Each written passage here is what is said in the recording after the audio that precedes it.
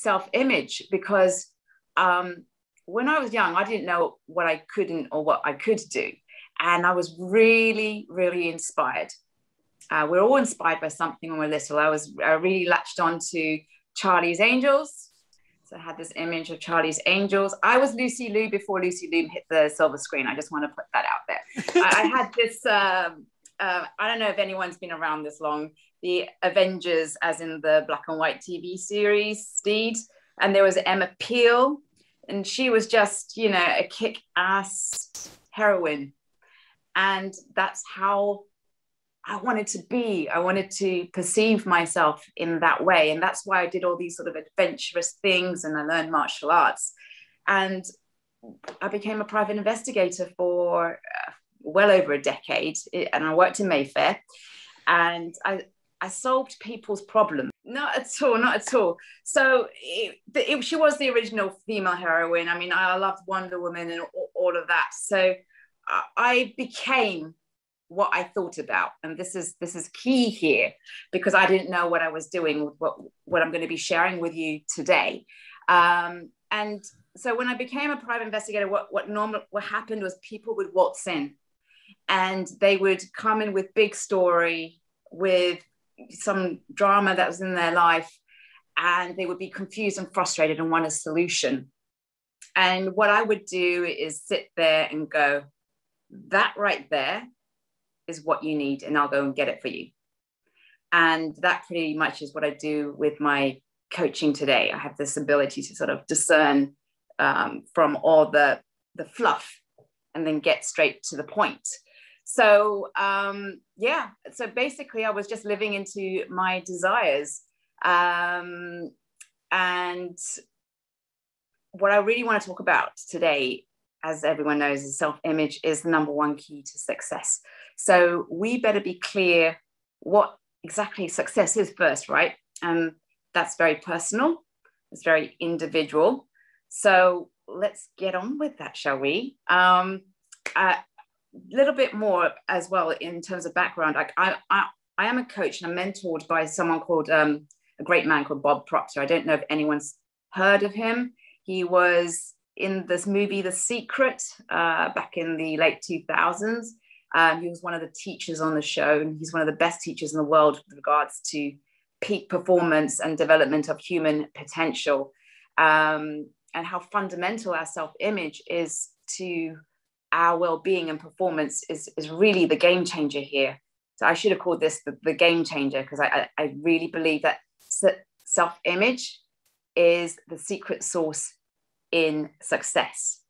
And if you can get what I'm teaching and sharing today down pat in as short a period of time I've got with you, you can literally name your worth, you can name your income, you can call in the relationships you desire, you can go for the job of your dreams, the role or business that you truly want, and you're not compromising.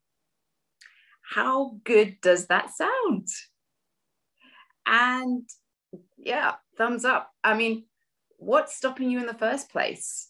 So let's address what exactly is self-image. And I keep I keep saying self-image, self-image. What is it?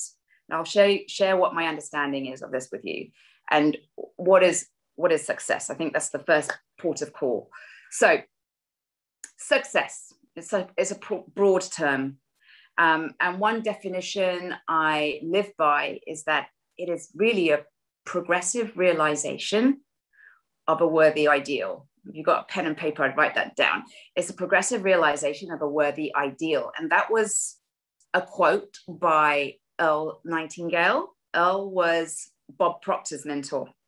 And Earl was mentored by the author of this book, Think and Grow Rich. And this is an awesome, awesome book, Think and Grow Rich by Napoleon Hill, written in the 1920s. Um, he this book was written as a result of um, Andrew Carnegie, who was the wealthiest man in the world at the time, and he did not want to go to his graves with his secrets of success, his principles of success, and he encouraged the young Napoleon Hill to go out and interview the most successful, greatest minds of their time, which included Thomas Edison, um, Henry Ford of Ford Cars. So we're talking about the original, this is like the original Success Principles book and what everything from personal growth industry has sort of spiraled around from. So Napoleon Hill mentored Earl, Earl mentored Bob, Bob mentors me. So the progressive realization. Okay, progressive realization. What does that mean? It means you're moving towards something, right? This is really important. We're moving towards our North Star. You know, and as long as we're on our path, it doesn't matter if we falter. It doesn't matter if we fail or what appears like failure. We just keep moving towards it. And that's what makes you a success, first of all. What is a worthy ideal? So, progressive realization of a worthy ideal. Worthy ideal. Okay, let's think about this. Something worthy of us. What's worthy of you? What's worthy of you to invest your time with? Because we are trading our time for something every day, right? We're in our jobs. So we're worthy to trade our life for something. Sometimes we live really, really into our day to day. We cross off things on our so called to do list. But really, we have one life, one chance to make a contribution and leave a legacy. That's what you want to do. And our lifetime is made of a series of days. And Mel Robbins, if anyone's heard of her, she did a TEDx talk, brilliant TEDx talk in um, 2011. And she reminds us how spectacular we really are. Because we're all here, right, on planet Earth. How do we get here? We, we were one in 400 trillion, one in 400 trillion to be here. What are we here for? Um, and I trust that everyone who comes to the coffee meets are here because we're here to learn something, because we have a growth mindset, because there's something in us that desire more, right? And not only are we one in 400 trillion, we're living in the UK for our sins, um, but it's it is a country of peace and freedom. It is a country, and so we are we are blessed. Okay, so that's that's the first thing. Yet it's become a norm for most of us to live in a certain amount of chronic stress for most people. You know, we're, we're pushing, we are high achievers, we have families, we have careers, we want to get places, we want to get things done. And, you know, we do get caught up in our to do lists. We do. And we're living like this day to day and it's kind of like being in the foothills of, of the mountains. I'm a, I'm a climber as well, by the way. So I like to use this analogy quite a lot. We're in the foothills of the mountains and we're stuck in the weeds. And we don't really see the beauty of the valley from high above. We just get stuck here dealing with our day to day. Does anyone identify with that at all? Is there a show of hands? Is that identifiable? Okay. And have I got everyone on the screen? It's quite a few people.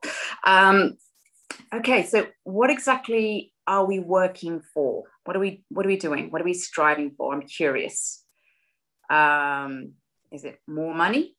Yeah, Mark. yeah, I, I, I, think it, it, it's an interesting scenario because sort of the you know the the top of a mountain um, is is very clear. Um, you know there is a top, um, but when when you're when you're sometimes when you're in the foothills you can't see that top. Um, and using your scenario sometimes when you're in the the, the foothills and you're, you're, talking about this actually have you got a clear definition of where the top is and where you want to go um, what you want to achieve? And do you have multiple perfect. mountains to climb? Yeah. perfect perfect. That's that's brilliant. And that's exactly where i'm leading on to right? So I mean, I'm, I'm curious if anyone can write in the chat box. Um, I'm actually on my iPad. So I'm not sure if I'm going to see the chat box, but um, you know, what what is it that drives drives you, or just speak up? What what is what is your driver? Anyone? We have a quiet bunch today, don't we? I can't see anything in the chat box. Okay, so.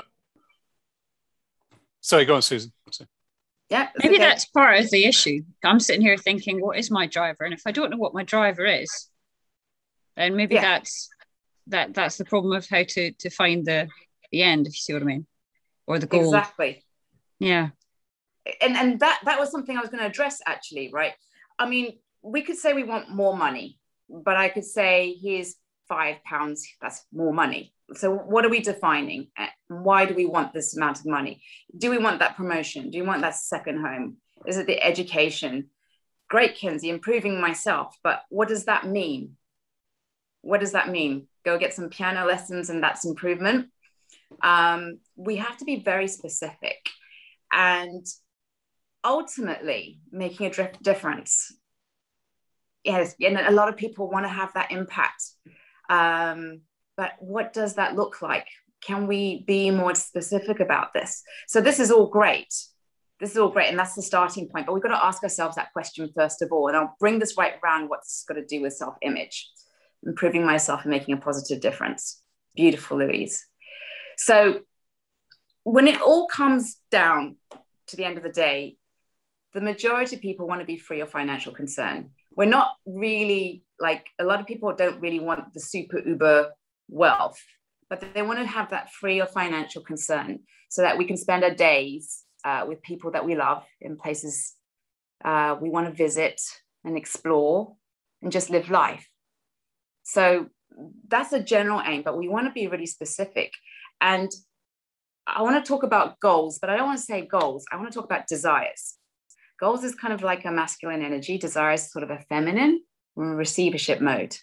Goals is kind of like, let's achieve, let's go for that. Yes, it is a North Star. I prefer the word desires, but I will use the word inter- interchange, inter- interchangeably.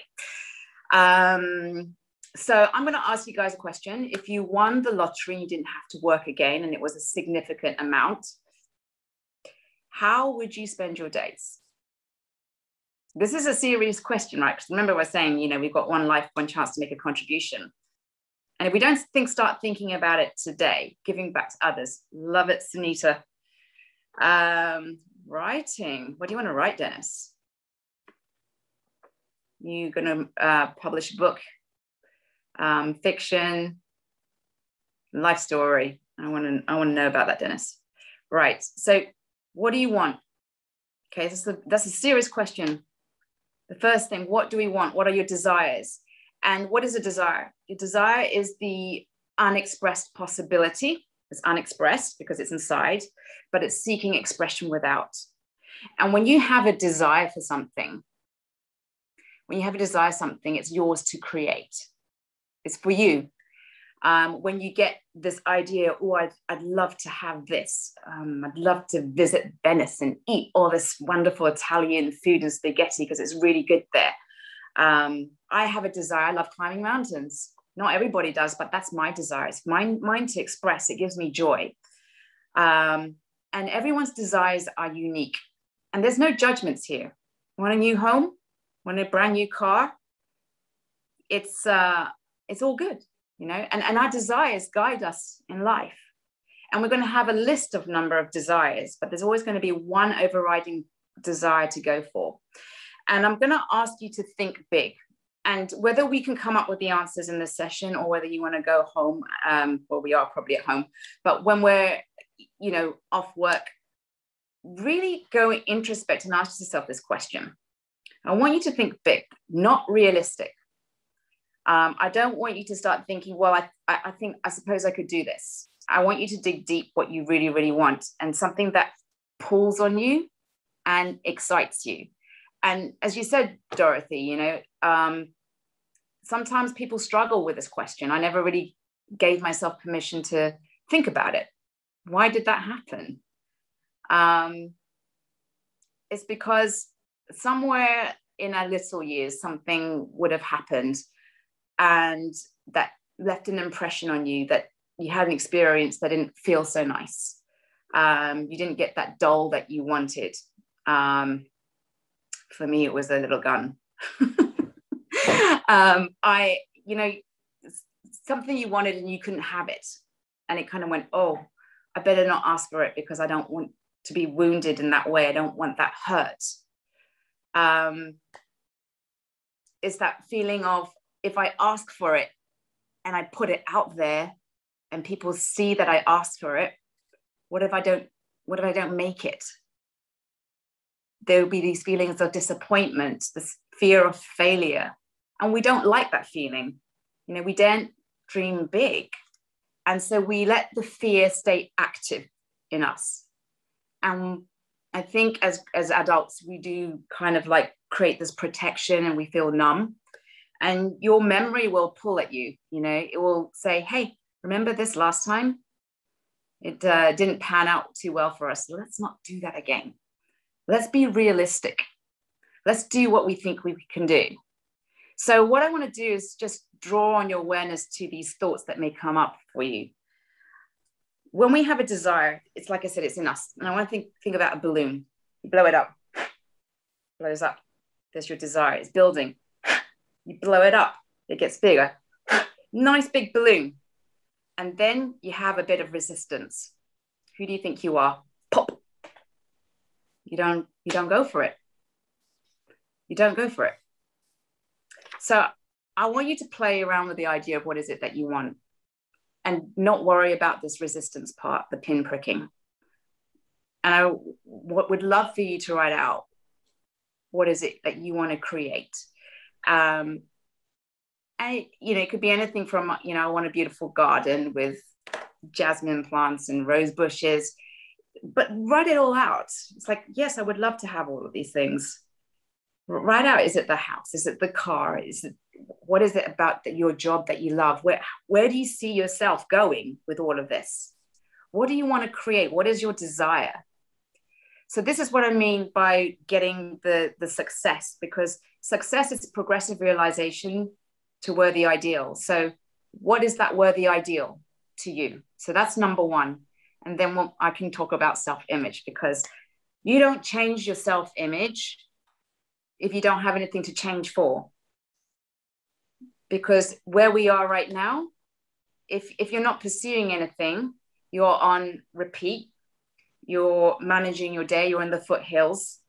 And what's happening is you might call it comfort zone comfort zone. Um, i'd love to do this but i'm busy here today. I've got to deal with these projects. Oh i've got this great idea. I want to write this book. But hang on i just got to look after my kids today, get them sorted, get them off to school, you know? So this is this is what's happening. This is what's happening. We we, we go off on a tangent, then we kill kill the idea. Um, the first thing is to really fall in love passionately with what is it that you want and sort of move through this numbness, this shield, this emotional shield we've created, and just give yourself permission Okay. And it's just you and a notepad, just journaling. Nothing's crazy is going to happen. Um, so that's the first step. And when you write out your desires, I want you to write them out in the present tense. It's absolutely 100% critical that you do that. So I have this car, I live in this home. Um, and when you write that about this dream house, I live in this home, I live in this, you could say, I would love a dream house, but what does that mean? You know i when i in my dream house i want to feel like it's an experience when i walk into the home with fresh flowers everywhere and the scent of lilies and lavender. I'm bringing my senses into it because that's how we build the desire. If it's just a shopping list it's a mechanical process. And you go right there's my list of things i'd really love to have. I'd love to fly first class. Why do you want to fly first class? So write these down. I take my family on five star first class trips um, because I can see the joy on my children's faces when I show them the tickets to Disneyland and surprise them. You know, well, I want to light light you up, light you up. Um, we got to know the star we're shooting at, and figure out what are our truest desires. And you may notice some resistance about it. Just recognize that it's there, but just just play, just play. Now the main part, self-image this is the meat. Right. I love I love this topic so much. It's my it's my favorite um, to share about this because I really think that you understand self-image and how to adjust that. And I don't mean changing yourself in any way. I'm just talking about how to change how you you perceive yourself. There's a big difference. Um, there's two self images the one we see in the mirror, and uh, the self image is what we say to ourselves inside, inside here. And what we see in the mirror definitely and the way I do it is actually to go into a state of relaxation. Um, just play some soft music and just ask yourself the question, what do I want? Only you will know. You know what you love. You know, you know what foods you love. You know what places you love. You know the kind of people you, you want to hang out with. And just journal and let it out. It's it's the only way. Um, and you know, I, will I'll ask you all make a list of 50 things. I know don't make, I say don't make a shopping list, but at least start with a list. Start, start. What would you, what would you love to have? And, and I would ask yourself that question with, if the sky is the limit, if you could have, if you had genie in your lamp and you had more than three wishes, you had 50 wishes, 50 plus. and you could ask for any salary or revenue re- remuneration you wanted. Sky's the limit. And this is quite interesting because people still put a cap on it, even, even when I say the sky is the limit. That's the question. I can send you guys a list of questions to ask yourself to prompt, to prompt you, and you'll go on a thought tangent because that's the first thing. And I want to say, just give yourself permission to. So that's that's how we deal with that aspect. Does that answer your question, Sabrina? Yes, thank you. Amazing. Okay, so self-image. So there was two images, the one in the mirror, the one inside. Um, self-image is what we think of ourselves. It is a concept. It is a concept of ourselves. It's an opinion, what we think we're good at, as you just said, Sabrina, and what we think we're bad at. What are our strengths and weaknesses? And I would kind of think of it as branding. You know, how do we show up? How do we present ourselves and express ourselves?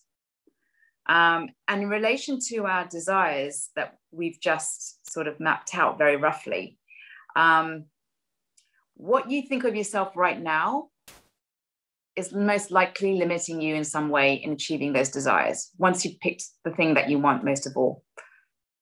Otherwise, you'd already have it. Otherwise, you'd already have it.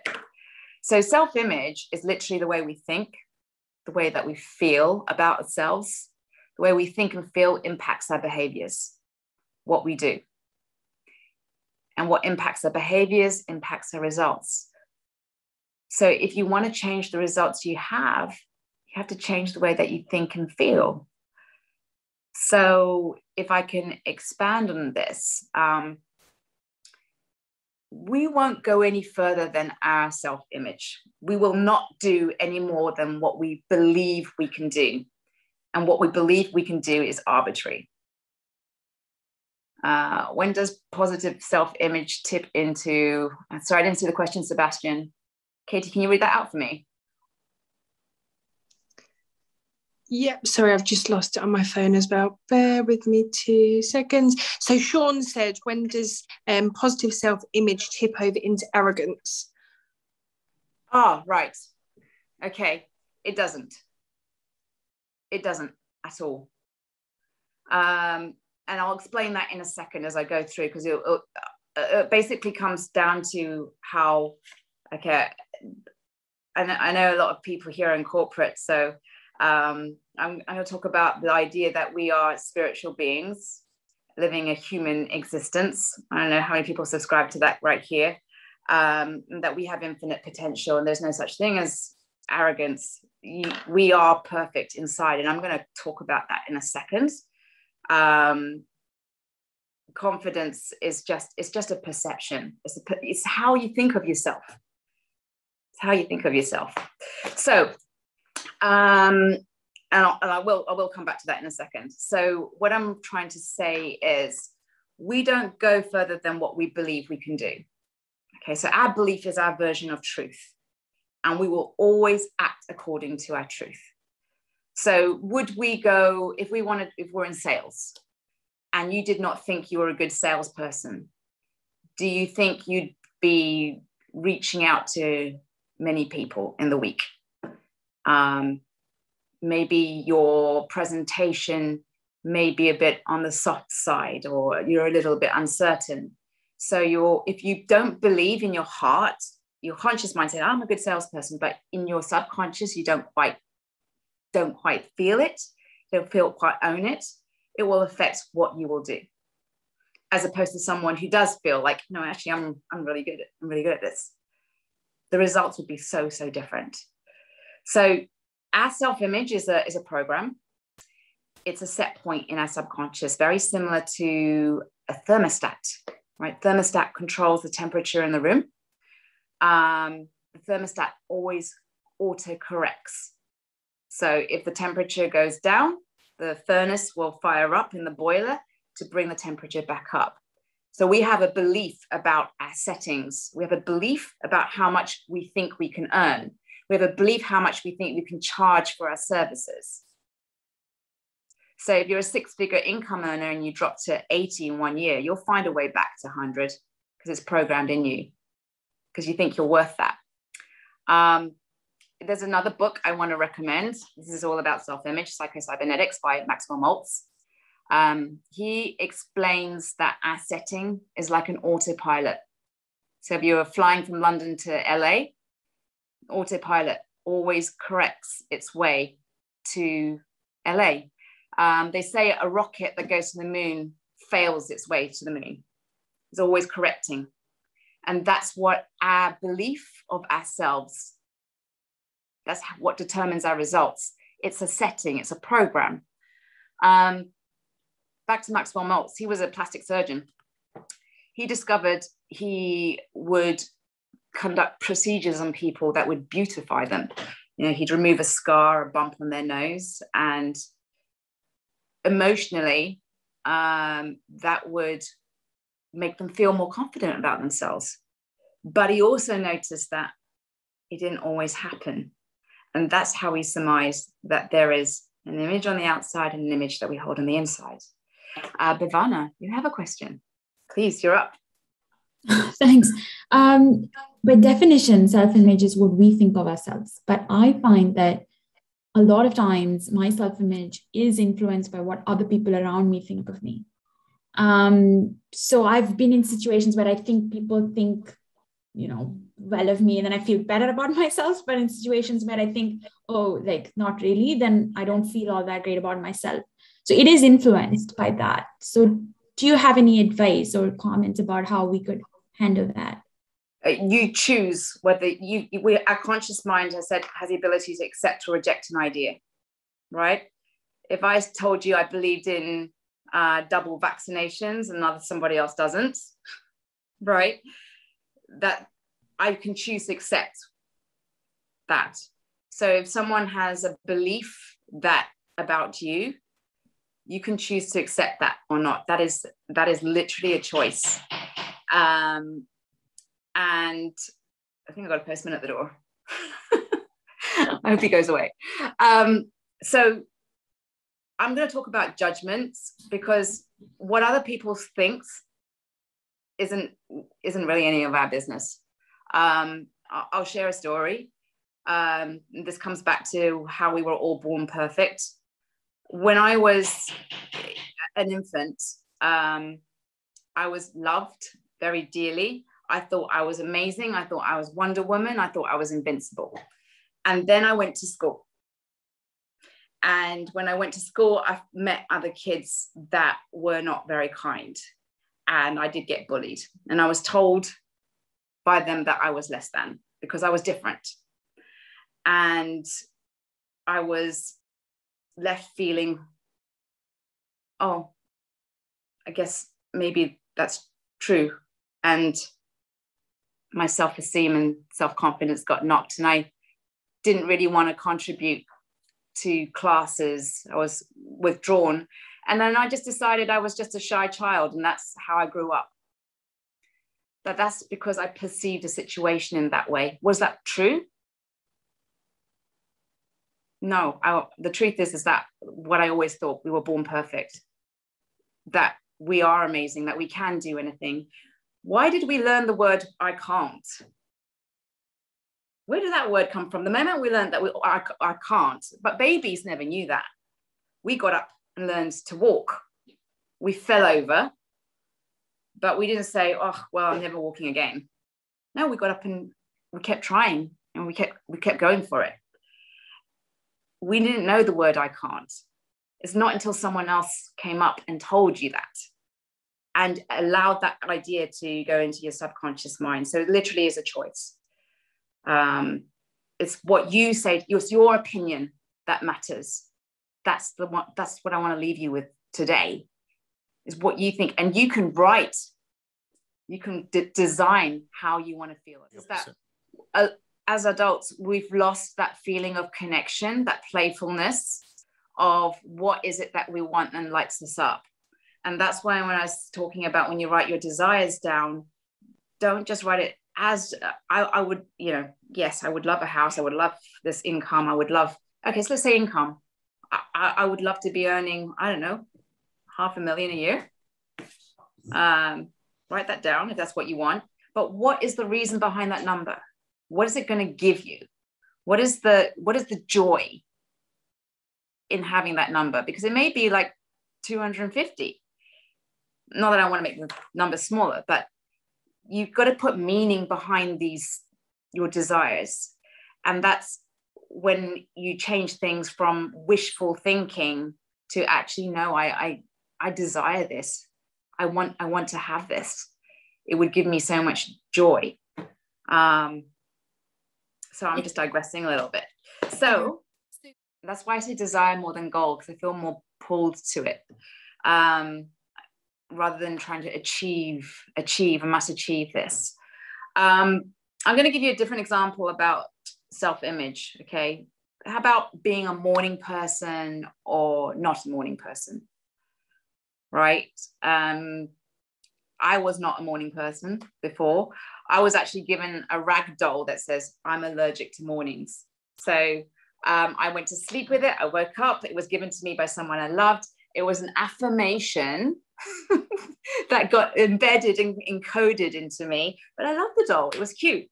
Um, so I was ended up being programmed not being a morning person, and boy, it was hard to break that one.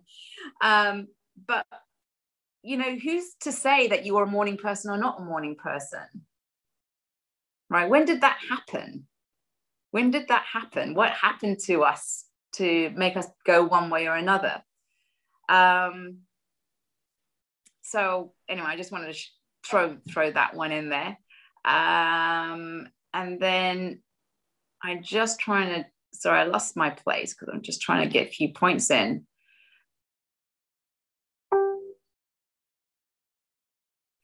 Yeah, I think ultimately, you know, you you got to ask yourself this these questions, right?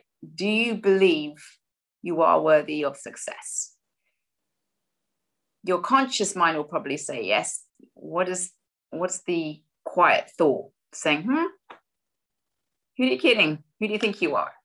Right? We, we, we're going to call out this, this resistance.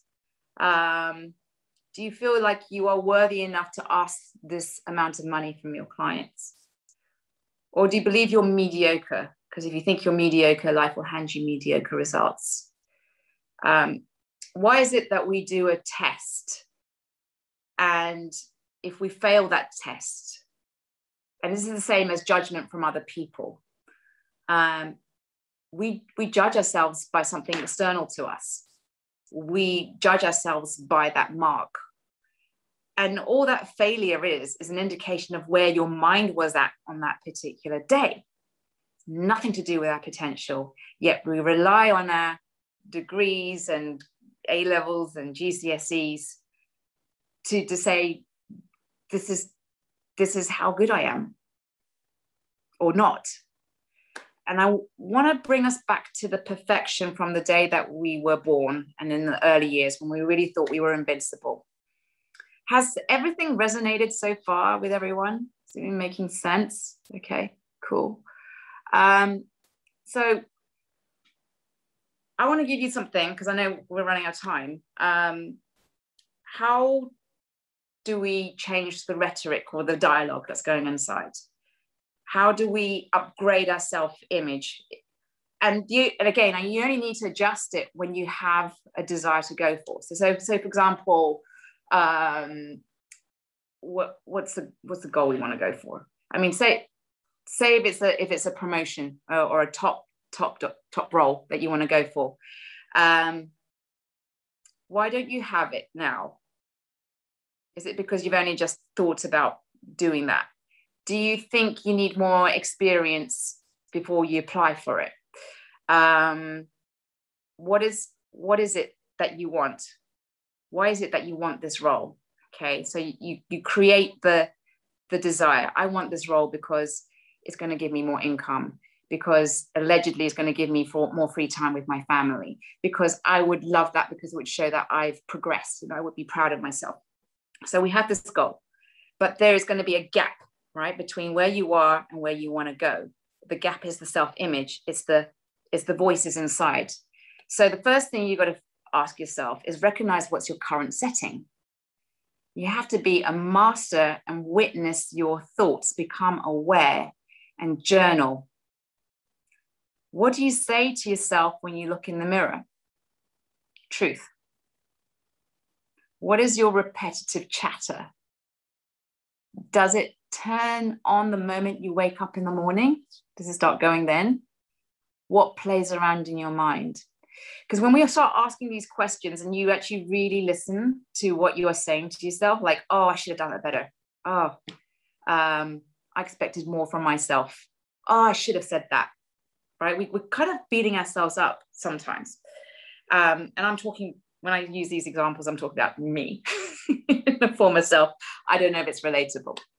Um, but we want to ask these questions to get to the root, to identify what is what is the limits, what are the limits that you're self-imposing on yourself that's on automatic because this is what's driving the vehicle here. So that's the first thing, get aware. Okay, you're going to call it out. Um, the second thing you do is you've got to create the goal image or the desire image. So if your desire is to go for this particular role in this company, um, what do you have to do to achieve this role? Who do you need to be?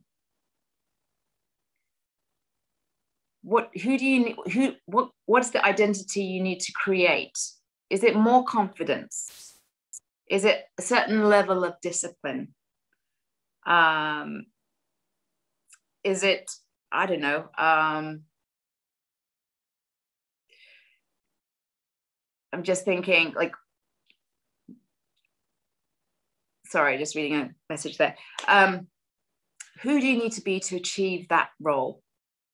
And there'll be a list of things of who you need to be that you are not quite feeling it right at this at this level here.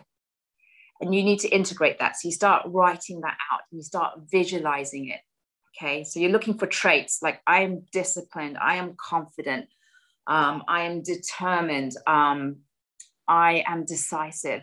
And so you create these i am statements and there's so much power in affirmation because everything is energy and our thoughts are energy and therefore the words we speak is energy and they all have a positive or negative vibration or frequency to it.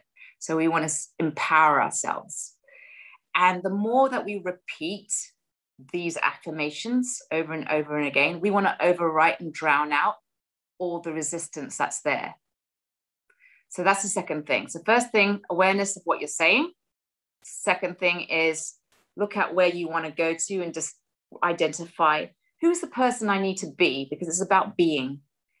And then the third thing is you have to act as if. So you've written out all these things, then you have to make an irrevocable decision that this is the person I'm becoming or being right now. So if I want to have six pack abs and be super healthy, wh- where am I now? And where do I want to go to six pack abs? Therefore, I have to look at what I'm eating. I have to be consistent. I'm disciplined. Um, I'm ordered. I've got all my food and training plans sorted out. Um, and you, I just keep showing up like an athlete. So You don't decide tomorrow I'll be that. Because you'll have those moments where you waver and go, I'd love to have that cake. Um, but once you make the decision, it's a commitment, it's a declaration. But you only stick to it when the desire is is is enough. It's it's like a burning desire. And you connect with it. Why do I want to have those six pack abs? Why do I want that job role? Why do I want that income? You've got to be that person because that's the only way that you're going to bridge that gap. And that's all about self image. So that's how you create the self image script. Number one, awareness of what you're saying. What are you limiting yourselves to? Call it out, dig it out. It's a weed. You need to pull it out.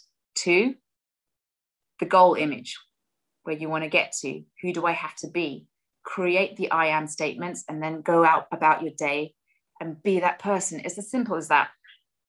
Um, when I went from school to university, because remember I said I was a shy child, um, I, I was a shy child and I decided when I go to university, I won't have to, um, I want, people don't know me. I can create a new identity. I, I want to have friends. I want to, I want to be, um, I want to, I want to attract people to me and just create a different kind of setup because people in school were really clicky and I don't want that and so I created this confident image. I didn't know I was doing that. I did this so many times in my life as a private investigator, the Lucy Liu um, and Emma Peel, to the confidence because I wasn't a confident person before. I was really shy. And so I decided I'm going to go to university and be confident. I'm confident. I'm confident. I'm confident. I went in, no one knew me. That was my persona, that was my identity. I made loads of friends. And it just kept going up from there. So it does work. But and the tools I have given, they are simple. They are really, really simple. They have to be, otherwise, you're not going to do them. So that is pretty much what I'm sharing. I really loaded this session. Susan, thank you. Thank you so much.